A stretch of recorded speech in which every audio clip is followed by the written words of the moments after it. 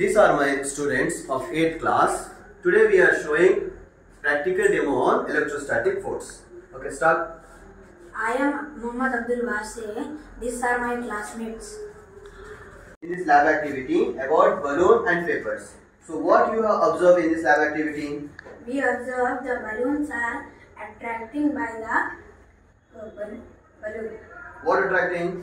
Papers. Papers are attracting to the balloon. Balloon. Can you show again? Yes.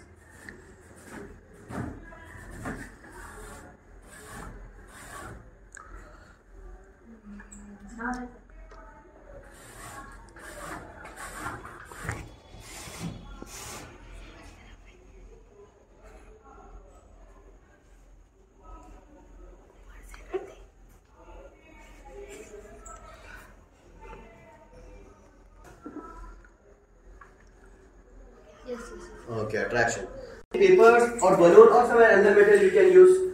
No, sir, we can also use glass rod, scale, paper, silk cloth, dry hair, etc. Very good. We can use some another material also for attraction of uh, papers, balloon, glass rod, silk cloth, another material also we can use, etc.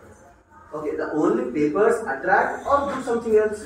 No sir, it's attract and repel. Very good, nice. It attracts and repel. Can you say the reason why the papers are attracting and repulsion occurs?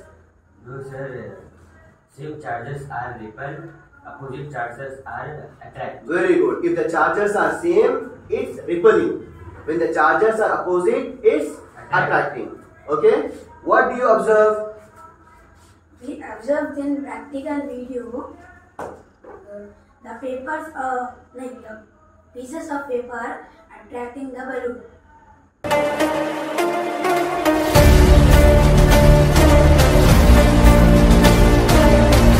Can I do?